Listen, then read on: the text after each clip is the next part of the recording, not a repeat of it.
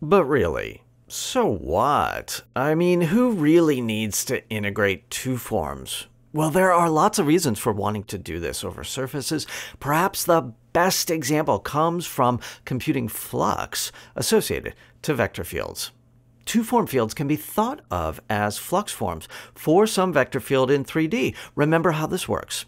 If you have a 3D vector field f that is of the form fxi plus fyj plus fzk, then the associated flux 2 form phi sub f is given by fx dy wedge dz plus fy dz wedge dx plus fz dx wedge dy.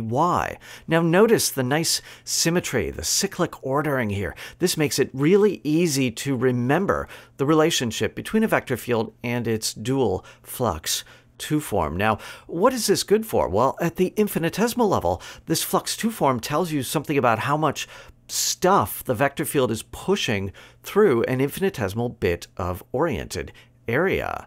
But when you integrate this, you get net flux.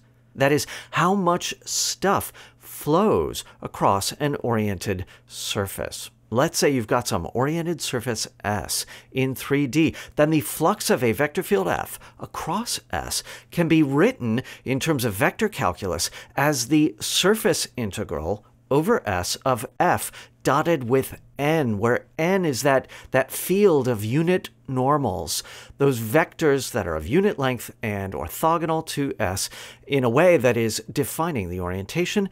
Then you integrate this with respect to the surface area element.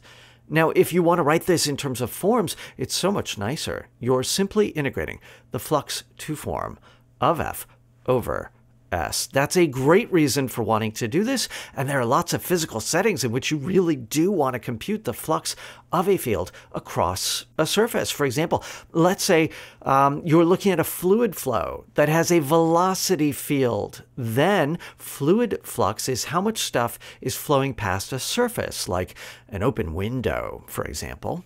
Or in the case of a magnetic field, you might care about the magnetic flux the flux of that field across some surface. That's useful in physics for computing things like magnetic force, other stuff like that. There are other physical examples where we care about the flux of a vector field, but it takes a little time to get used to thinking about surfaces and vector fields and flux thereof. There's a lot of stuff going on. If you think about an oriented surface and stuff flowing past it according to a vector field, then at the infinitesimal level, if you zoom in, what you really care about is the dot product between that vector field evaluated at a point on the surface and the unit normal vector field there. You got to keep track of orientations. If the vector field is flowing in the same direction as the orientation of the surface, that's positive flux. Otherwise, it's negative. If you can think about this at the infinitesimal level and then use what we know about integration to add up these local fluxes across every point of the surface, then you get net flux. It's hard to see, but it's easy to compute because you know how to integrate two forms.